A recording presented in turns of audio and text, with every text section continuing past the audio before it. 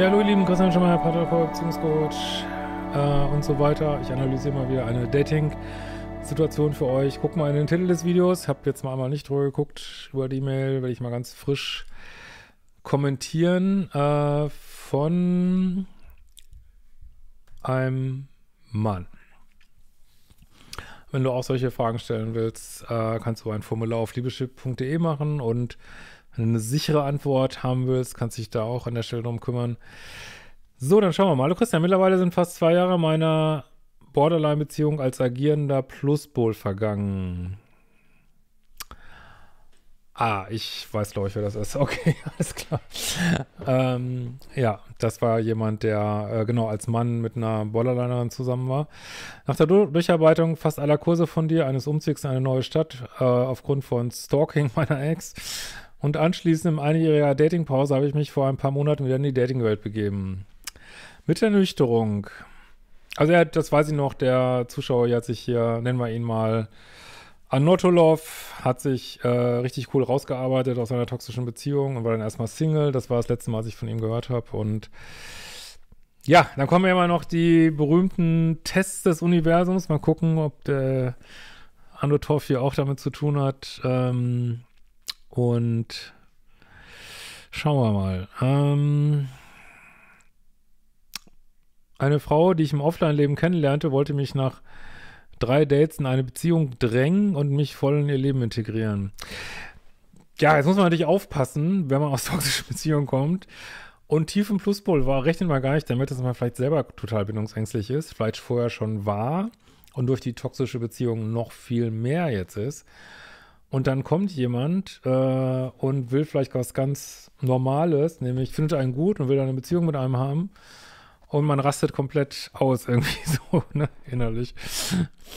Das fühlt, da fühlte ich mich schlagartig direkt äh, nach dem engsten Loch des Gürtels an, der mir gerade um den Hals gelegt wurde. Na, bist du ja ein bisschen bindungsängstlich etwa? Das ist immer, was man, diesen Satz kann ich euch immer wieder mitgeben. Du willst als Ex-Liebessüchtiger willst du weder weiter so Narzissten oder Narzisstinnen daten, noch willst du Menschen daten, die sehr needy sind. Beides funktioniert nicht. Weder zu plussig noch zu minusig. Und das ist so ein bisschen die Kunst. Man rechnet häufig gar nicht damit, dass man diese Pluspole auch selber gar nicht ab kann. Kann nicht sein, dass die Frau jetzt ein bisschen plussig war, weiß ich jetzt nicht, ne? Äh, ich muss sofort raus. Aus mir wurde schlagartig ein Minuspol die Frau war mir zu anhänglich. Oder vielleicht bin ich einfach, oder vielleicht einfach zu normal, zu undramatisch und bindungssicher. Beides kann an diesem Punkt, so mit den paar Informationen, weiß ich jetzt nicht, kann beides sein, leider. Ja. Als ehemaliges Pluspol-Anhängsel in meiner letzten Beziehung, ja, vor allem was ja wirklich eine Drama-Beziehung, ja, muss man schon sagen, war das mich eine interessante Erfahrung. Danach folgte eine weitere Offline-Begegnung, auf die mein alter, noch vorhandener Liebeschiff wieder komplett ansprang. Ja, also der geht auch nie so ganz weg, der rückt nur immer weiter in den Hintergrund. Aber das ist wie bei Ex-Junkies, kann man immer wieder, wenn die Umstände da sind, ähm, kann sich das immer wieder aktivieren. Ne? Aber es wird immer unwahrscheinlicher. Eine verheiratete und angeblich unglückliche Frau, boah, ich, ich, was machst du denn? Die äh, auch noch 500 Kilometer von ihr entfernt wurde. Was für eine Erleichterung, vertrautes Gefühl. Endlich wieder Normalität. In dieser Konstellation fühlte ich mich wohl. Na, mein Lieber, aber keine Dreiecke hier. Du fängst doch wohl jetzt nicht an mit Dreiecken. Halt dich vom toxischen Brunnen fern, ich sag's dir. Aber du lernst dich natürlich jetzt hier kennen, ne? Ganz klar, ne? Hört sich auch sehr bindungsängstlich an. Äh, der Retter, also haben wir den Retter auch wieder. Das ist ja Männer, die in Borderline-Beziehungen sind, haben eigentlich immer ein Retterthema. Und mir hat auch eine Frau auf der Lesung gesagt, dass sie, als sie ihr eigenes Thema abgebaut hat, dass sie nicht mehr gerettet werden wollte, kam es für viele als Partner gar nicht mehr in Frage. Das ist crazy. Crazy. Der Retter konnte sich wieder beweisen. Nachdem ich beim Treffen äh, noch angezogen aus dem angemieteten Holzhotelzimmer flüchtete, äh, erkannte ich nicht nur rational, sondern merkte auch emotional, was für eine Scheiße ich da wieder anfing zu leben. Ja, also ich, ich verstehe das total. Ähm, und gut, dass, ja, also wirklich haltet euch fern vom toxischen Brunnen. Wirklich, fangt nicht wieder an, da zu saufen und Dreiecke und so ein Scheiß, ne? Aber gut, dass du da weg bist. Ja. Eigentlich war ich mit meinen neuen Hobbys meinen neuen Freundschaften in meinem Single-Leben auf einem guten Weg und trotzdem verfiel ich wieder in meine Dopamin- und Dramasucht. Genau das ist es. Und das ist wirklich, muss man leider sagen, das ist wirklich schwierig, das komplett loszuwerden. Ne? Also, so die ersten Schritte des Weges sind häufig relat relativ einfach, weil auch sich so trennen und und dann wird immer noch gestalkt, das ist man ja immer noch im Drama, aber wenn es dann mal wirklich richtig ruhig wird und man eine ruhige, sichere Frau daten soll, dann merkt man erst, was, wie, wie dramasüchtig man selber ist. Und das ist, äh, muss ich auch echt sagen, das ist nicht so leicht abzustellen. Ne? Wenn ihr da selber Ideen zu habt, schreibt es auch gerne in die Kommentare. Äh, ich hatte da genau die gleichen Empfindungen wie zu meinen intensivsten Zeiten im frühen Online-Dating. Ja, das ist halt ne, das, Dop das, Dopamin, ne? Was so schön reinkickt und reinzwischt und ein wusch. Ja, aber kann man sich auch eine Line Koks ziehen? Äh, ich will jetzt hier niemanden zu Drogen animieren, äh, nicht, dass man jetzt das falsch versteht, aber es ist, sagen ja mal Leute, die beides kennen, dass sich das sehr ähnlich anfühlen soll. Keine Ahnung. Wobei Drogen sicherlich aber noch hm, viele weitere Probleme haben. Aber hat Liebessucht ich auch, ja. So, äh, endlich wieder Normalität. In der Konstellation fühle ich mich wohl. So, es ging wieder nur ums Drama, den Kick, den Rausch und darum, mein Ego zu spüren und zu befriedigen. Daraufhin begab ich mich vier Wochen in ein Schweigekloster, ohne jeglichen emo emotionalen, digitalen Input von außen und musste mich erstmal wieder besinnen. Die Zeit dort hat mir wirklich die Augen geöffnet. Es war nach der Zeit dort total krass, mich im Alltag dabei zu erwischen wie oft ich mich durch eigene Dramen ablenke oder von Dramen anderen suche, um von meinen eigenen Problemen und Themen abzulenken. Ja, man fragt sich mal, was kann denn an Drama so addicted sein? Ja, also erstmal stimuliert das Gehirn das sehr schön, ne? Das sagen ja auch Leute, die im Krieg waren. Ja, viele Leute, die im Krieg waren, sagen, ähm, dass das Leben danach langweilig ist, ne? Ist auch eine Realität, ne?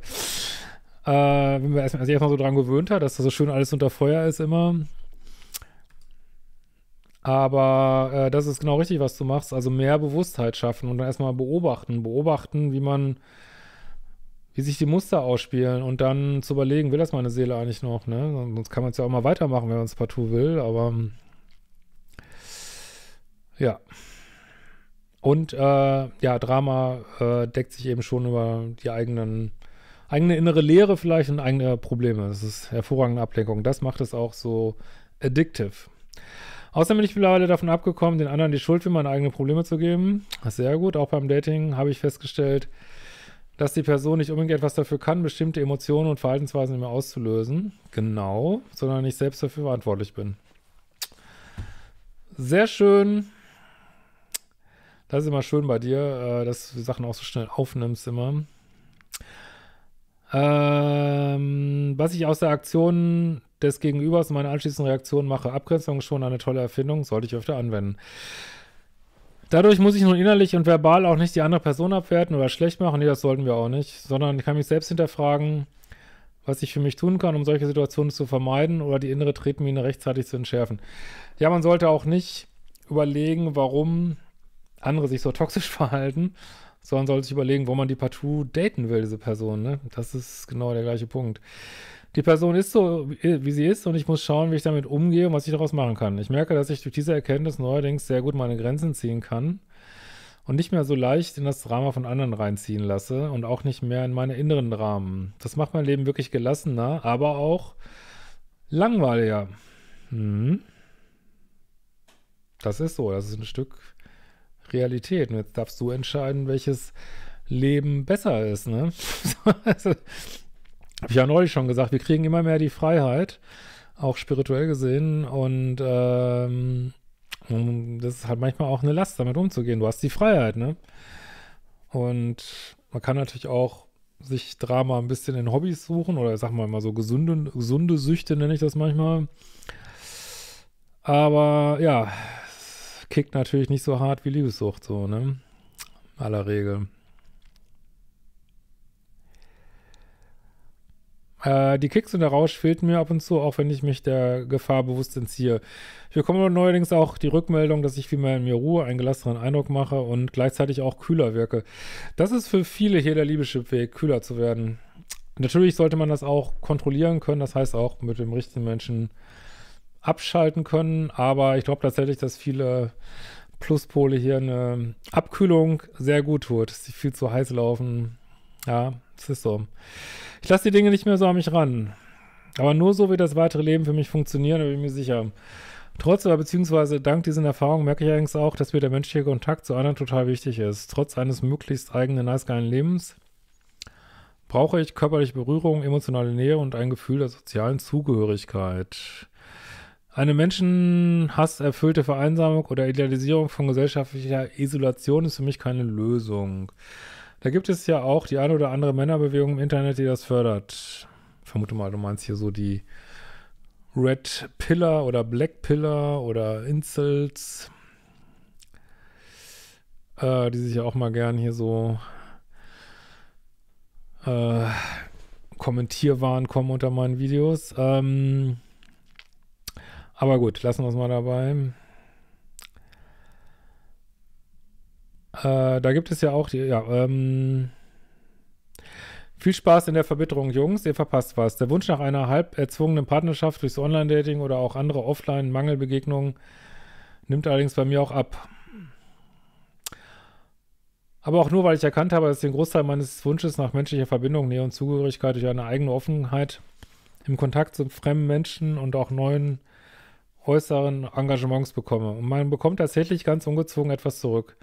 Durch ein angefangenes Ehrenamt im Hospiz und einer gleichzeitigen Sterbebegleitung in der eigenen Familie, oh, es tut mir leid, bin ich komplett aufs Wesentliche zurückgeworfen worden und sehe die täglich die emotionalen Grundbedürfnisse eines jeden Menschen unabhängig von Geschlecht, Status, beruflicher Erfolg und Kontostand. Die eigene Suche im Außen nach Bestätigung und Glück ist weniger geworden. Durch meine neue Tätigkeit im Ehrenamt und dem Erfahr Erfahrung im Familienumfeld habe ich wirklich eine Erfüllung im Leben, die die Glücksempfindung im Vergleich zu bisher geführten Partnerschaften oder Affären bei Weitem übertrifft. Ja, sei dir mal nicht zu sicher, wenn du wieder anfängst zu daten. Also man muss echt aufpassen, dass man sich nicht immer wieder in die Tasche lügt, weil der, der, dieser Prozess ist schon sehr sticky, der ist sehr klebrig und man wird immer wieder zurückgeworfen. Aber freut mich natürlich und äh, so, so Ehrenamt und Sachen für andere tun gilt ja auch häufig, ein, äh, also nicht auf so eine co-abhängige Art, aber gilt häufig auch als gute Art, so aus, aus ähm, Ego und Drama rauszukommen. Die Frage wird sein, ob ich, wie ich mich in einer möglichen Beziehung nochmals öffnen kann. Wenn ich meine ab und zu durchkommende Dopaminsucht dauerhaft im Griff habe und mich nicht von meiner passiven Bindungsangst überwältigen lasse, könnte ich da vielleicht mal was Gutes bei mir rauskommen. Aber Druck mache ich mir da nicht mehr. Rückenwind, rückwirkend betrachten kann ich sagen, dass ich ohne meine jahrelange toxische Beziehung jetzt bestimmt nicht diese Erkenntnisse hätte und mich im Leben für neue, unbekannte Dinge geöffnet hätte. Dankbarkeit für die toxischen Beziehungserfahrungen zu empfinden, fällt mir noch schwer. Boah, das wird schon auch kommen, aber ich bin letztlich nicht dran zerbrochen. Naja, aber fast, ne? Also ich weiß ja noch von dir, dass da auch, ja, du weißt schon, was ich meine, glaube ich, ähm, hab positive und viel schönere Dinge in meinem Leben integrieren können. Ich bin nicht für Rückfällen geschützt, aber durch deine Kurse und die daraus resultierenden eigenen Erfahrungen bin ich weiterhin auf einem guten Weg und arbeite an mir. Arbeite an mir. Großen Dank an Aline, dich, deine Arbeit und die Community. Ja, ähm, also jetzt wird äh, super, hast dich wieder gut gefangen und jetzt wirst du irgendwann wieder daten müssen und dann geht die Sache wieder los. Ich will jetzt nicht, ich will jetzt keinen Stress machen, aber dann wird die Frage wieder losgehen. Hältst du es aus, bildungssichere Menschen zu daten? Ich will jetzt nicht sagen, dass die Frau schon eine war, ne? Und vielleicht musst du da noch mehr gucken, ne? Also das ist, vielleicht hilft euch auch oder vielleicht hilft dir auch so eine Zweiteilung. Du kannst sagen, hier ist Toxik und du kannst sagen, hier ist komplett sichere Beziehung. Man kann auch sagen, ich suche mir irgendwie so einen Platz auf diesem Kontinuum, sag ich mal. Und ähm, vielleicht sagt man sich auch, gut, zu ruhig sollte die Beziehung jetzt auch nicht sein, ne? Ähm, weil nur, dass es vielleicht manchmal so ein bisschen ja, vielleicht auch mal ein bisschen turbulent zugeht, heißt ja nicht mal gleich, dass es toxisch ist und ähm, vielleicht sollte deine neue Freundin, wenn die irgendwann kommt, auch nicht zu pluspolig sein. Also sie kann ja auch ein bisschen Minus, bisschen Minus sein oder nett Minus und nicht irgendwie ähm, schwierig, total schwierig, Gaslighting und so. Weiß ja, was deine alte, alles, äh, alte Freundin alles gemacht hat. Kann mich noch daran erinnern. äh, insofern, äh, da, ja, also wir erleben diese Extreme und dann zu gucken, was wollen wir eigentlich so, ne? Und äh, ich würde trotzdem nur aufpassen, ja, jetzt bist du wieder einen Schritt weiter. Ähm, jetzt, also es ist oft so, man geht dann wieder raus, äh, stabilisiert sich wieder im Single-Sein, macht neue Schritte, lernt was Neues, dann geht man wieder auf den Datingmarkt und dann ist es wieder, kommt es wieder zum Schwur. Wo steht man jetzt? Ne? Lässt man sich wieder auf drei, also hast du ja jetzt nicht gemacht, aber lässt man sich wieder auf Dreiecke ein, geht das wieder los? Und ähm, ja, das ist halt so ein, so ein Problem, dass das eigentlich wie so eine Sucht ist und trotzdem gibt es ja auch andere Süchte, äh, will man das nicht aufhören, weil es zum Leben dazugehört. Ne? Also man, ich kann zwar sagen, ich höre mit Koks auf oder so, aber das ist ja so ein Teil des Lebens und das weiterzumachen, ohne wieder süchtig zu werden, schon ein dickes Brett. Ne? Das ist schon ein dickes Brett und ich werde auch immer wieder vorsichtig. Ich würde immer wieder überlegen, okay, verscheiße ich mich hier gerade wieder? Wenn du wieder anfängst zu daten und sei da nicht streng mit dir, ne, sondern einfach, dann musst du ja auch nicht jedes Mal vier Wochen ins Schweigekloster gehen, dann gehst du wieder einen Schritt zurück, holst dich da wieder raus äh, und das ist leider normal, also selbst wenn man es inhaltlich verstanden hat, das ist so ganz typisch hier, gehst du wieder raus und datest wieder die gleichen Leute. Äh, das bleibt natürlich nicht dabei, man kommt immer, das sieht man hier bei dir auch, du kommst immer einen Schritt weiter. Aber so läuft das leider. Es reicht leider nicht, das einmal mental zu verstehen, sondern man muss es dann auch leben und wenn dann das Dopamin wieder so schön reinkickt, weil jemand, der nicht verfügbar ist, da muss man erstmal hinkommen, das zu erkennen und dann zu sagen, ey, ich weiß, das ist nichts für mich, das ist jetzt zwar, er drogt mich hier schön an, aber das wird mir nicht gut tun. Äh, das ist echt, das ist die Meisterschaft dann später. Und da, und wenn es dann mal wieder einen Rückfall gibt, ja, dann ist es eben so. Und dann ist immer die Frage, wie schnell kommt man wieder auf den Weg. In diesem Sinne, danke für deine schöne Mail und wir sehen uns bald wieder. Ciao, ihr Lieben.